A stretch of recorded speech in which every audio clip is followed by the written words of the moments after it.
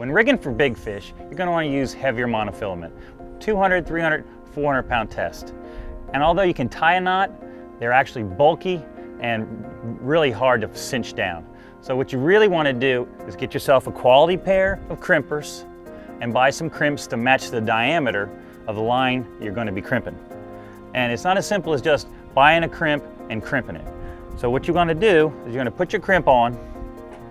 We already know it's going to fit on this diameter. You're going to attach your hook or swivel. You're to pull it through about a quarter inch or less. You're going to snug it up so it'll dangle or be static. That's your choice on the bait you're using and how you want it displayed.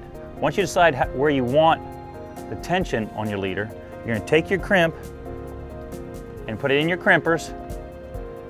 And you don't want the crimp to be on the very edge. Crimp just inside the edge so it creates like a 45 degree collar and then squeeze it. And most crimps require this being done twice on the top and the bottom. And when it's crimped correctly, you look at it real close, it's gonna flare out on either end at about a 45 degree angle.